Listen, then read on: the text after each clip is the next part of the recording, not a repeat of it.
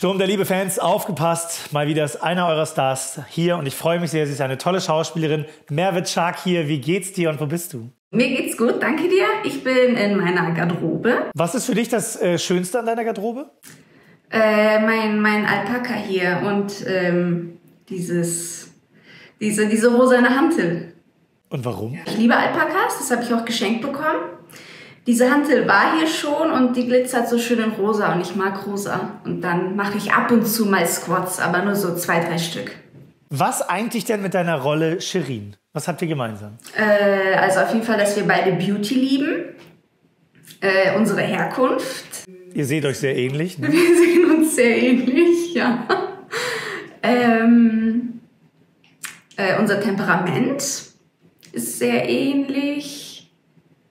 Ähm, wir sind sehr gute Freundinnen. Ich bin auch sehr gute Freundin. Ich kann auch sehr gut zuhören, Ratschläge geben und so. Das mag ich auch ganz gern. Und würdest du privat mit Shirin abhängen oder wäre das eher schwierig? Ich würde schon privat mit dir abhängen, aber Shirin ist manchmal mit Vorsicht zu genießen. Also ich mit ihren Racheplänen und so muss man schon aufpassen manchmal. Ich nehme an, bevor du Shirin gespielt hast, waren da ein paar Castingrunden vorher.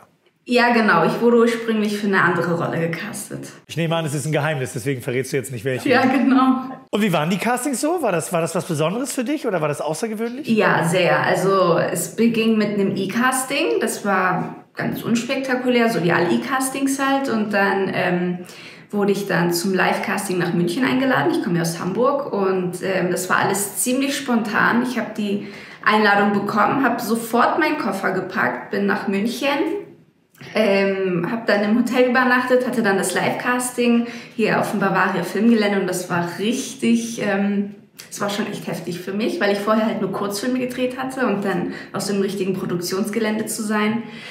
Und dann bin ich nach Hamburg, dachte so, jetzt habe ich es hinter mir, jetzt muss ich nur noch auf eine Antwort warten, aber nichts da. Dann gab es einen Recall, ich musste nochmal nach München, nochmal zum Casting und dann gab es erst die Entscheidung. Lass uns mal zu dieser ersten Nacht vor dem ersten Casting springen. Da sitzt, liegst du also plötzlich in einem Hotel in München. Äh, konntest du in Ruhe einschlafen oder warst du hardcore nervös? Nein, ich kann immer gut schlafen. Ich äh, konnte sehr gut einschlafen. Wir sind erst um, also ich bin erst um 4 Uhr nachts angekommen und äh, habe dann noch unterwegs, also ist mir aufgefallen, dass ich meinen Koffer vergessen habe, musste dann noch vorher zu Rossmann und mir Schminke holen und so. Ich hatte nichts dabei. Klingt sehr, sehr abenteuerlich. Da bist du also um vier ins Bett und wann warst du auf dem Bavaria Filmgelände dann? Äh, ich hatte ein Glück, ich war die Letzte. Äh, ich war um 12 Uhr irgendwas dran, also bin ich um 10 Uhr, 11 Uhr los. Also ich hatte noch einigermaßen gut Schlaf. Okay, und jetzt, äh, viele von uns werden ja nicht das Glück haben, mal bei einem Casting für eine sehr erfolgreiche Telenovela dabei zu sein. Hast du dann so eine richtige Szene oder hältst du einen Monolog, spielst du allein oder mit jemandem zusammen? Wie läuft sowas? Also, man bekommt vorher ein bis zwei Szenen zugeschickt, die lernt man dann. Und dann hat man vor Ort einen Spielpartner, also war das zumindest hier. Ähm, und dann spielt man die Szenen und hier gab es noch ein, das nennt sich ähm, Cold Reading. Da bekommst du dann, nachdem du die ein, zwei Szenen gespielt hast, vor Ort eine neue Szene. Die lernst du auch innerhalb von ein paar Minuten und spielst sie dann nochmal mit einem Partner. Und dann sitzt da der Regisseur, der auch mal Regieanweisungen gibt, äh, die Produzentin, Junior äh, Producer und ähm, gucken dann alle zu. Oh krass, Cold Reading. Hattest du erwartet, dass das passiert oder war das eine Überraschung für dich? Äh, das war überraschend für mich. Aber es hat funktioniert. Okay, und als der Recall kam, warst du da gerade Hamburger Hauptbahnhof, bist gerade ausgestiegen oder hast du es schon ein bisschen weiter geschafft? Nee, ich war schon zwei, drei Tage in Hamburg. Ich war, um genau zu sein, auf der Arbeit und habe dann vier, fünf verpasste Anrufe von meiner Agentin gesehen. Und hat dein Herz schon gewusst, was sie dir sagen wollen würde? Ja, ich dachte aber, es ist eine Zusage und keine, äh, keine Einladung zum Recall. Oh Mann, und dann hat es ja letztendlich geklappt. Wann wurde dir denn Shirin vorgestellt, dass du sie spielen würdest? Ähm, Ende August. Welchen Jahres? 2020, Ende August und Mitte November habe ich angefangen. Wie ist das so, wenn man dann so die, ich nehme an, du kriegst da so eine Kurzbiografie von der Figur und kannst du da immer noch sagen, ach, ich, das oder das wäre doch viel cooler oder nimmst du das einfach und sagst, yeah, ich bin Shirin? Äh, nee, ich habe das schon angenommen und bei mir ist auch vieles erst mit dem Spielen entstanden. Musstest du dich an manche Sachen gewöhnen bei der Figur? Ja, also Shirin ist äh, um einiges selbstbewusster als ich und da musste ich dann ähm, an mir arbeiten, dieses Selbstbewusstsein rüberzubringen. Und seit Staffel 17 bist du dabei. Ich äh, lese mal kurz aus dem Lebenslauf von Shirin. Shirin hat den größten Fehler ihres Lebens begangen. Sie hat mit dem Verlobten ihrer besten Freundin Maya geschlafen. Eigentlich entspricht das überhaupt nicht dem gutmütigen Charakter von Shirin, die von einem eigenen kleinen Beauty-Salon träumt. Sie kommt in den Fürstenhof und tut alles dafür, dass Maya ihr verzeiht. Würde es ihr gelingen, die Freundschaft zu kitten? Äh, ich bin da ganz guter Dinge. Wenn du das jetzt so hörst, ist Shirin heute noch so oder hat die sich doll verändert?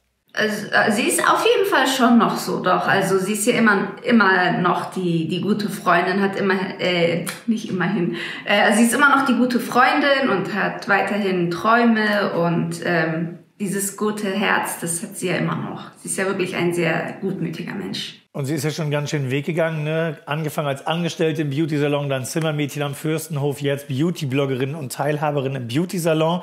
Ja. Also da ist, Beauty ist ja bei ihr hart in die DNA rein tätowiert. Ähm, das heißt, machen dir dann die Dreharbeiten vielleicht ein bisschen mehr Spaß, weil du Beauty auch magst, oder ist das schon knallharte Arbeit? Äh, ja, doch. Also mir machen die Dreharbeiten auch so Spaß. Aber ich privat liebe ja auch Beauty und ähm, dann so einen eigenen Beauty-Salon zu haben und so, das finde ich schon ganz cool. Du hast mal äh, vier deiner Lieblingsfilme und Serien angegeben. Mhm. Ich möchte kurz mit dir durchgehen, ob das nach wie vor der Fall ist. Ja. Wir legen los. Shutter Island. Warum? Äh, also erst einmal ist Leonardo DiCaprio mein Lieblingsschauspieler.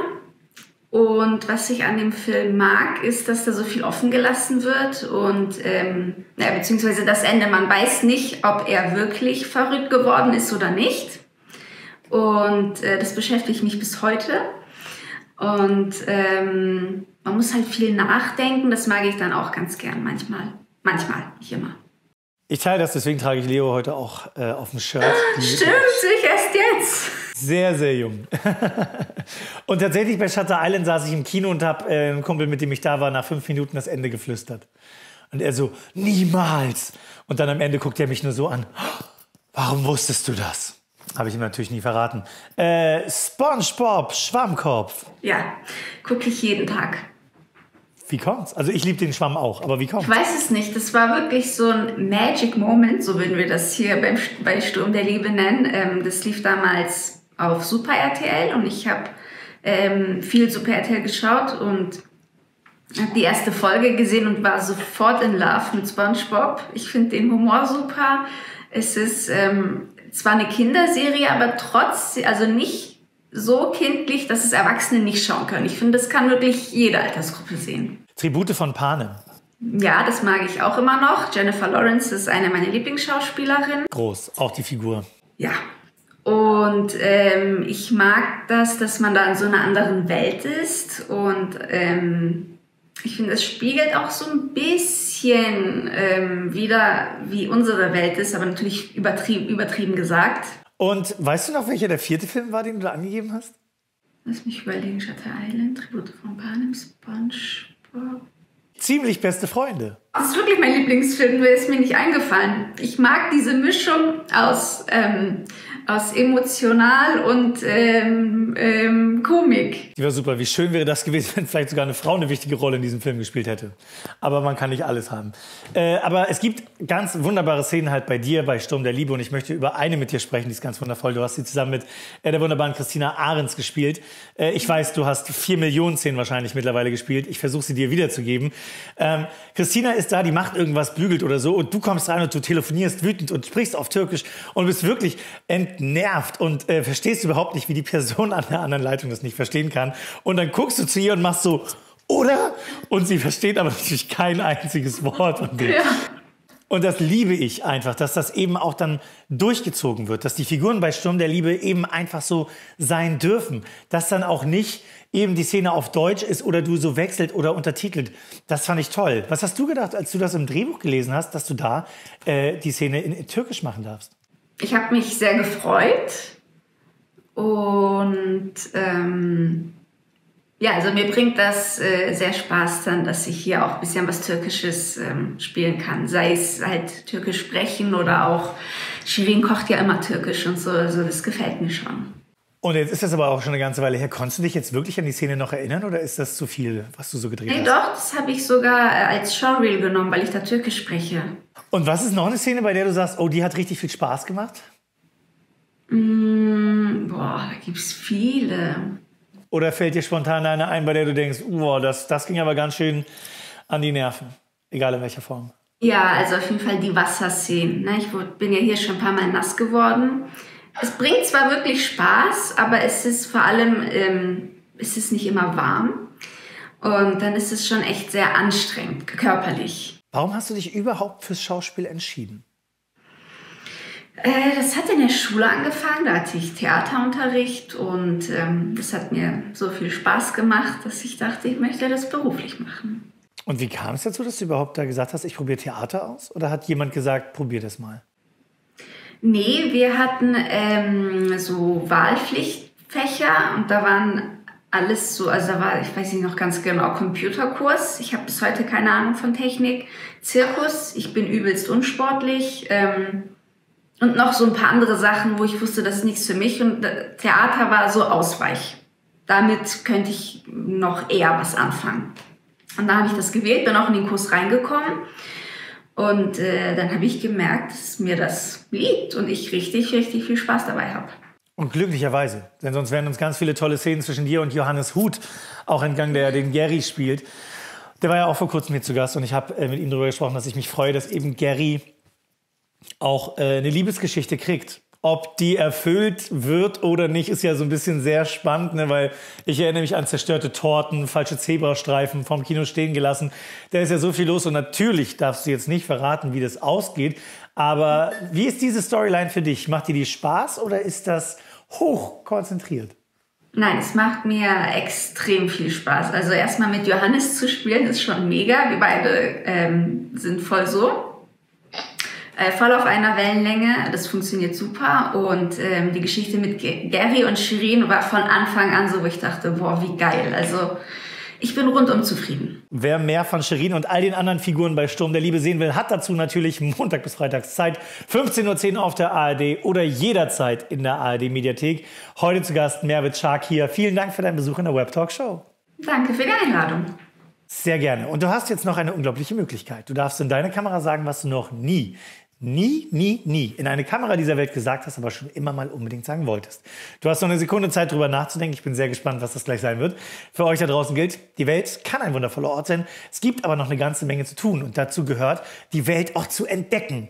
Na klar haben wir durch das Internet unglaubliche Möglichkeiten und können uns überall umgucken. Aber geht mal wirklich hin. Lernt die Leute kennen. Weil Menschen sind für gewöhnlich ganz wunderbar. Vor allem, wenn man einfach mit ihnen spricht. Und nicht nur sagt, ich habe gehört, die Leute da und dort, die sollen gar nicht so nett sein.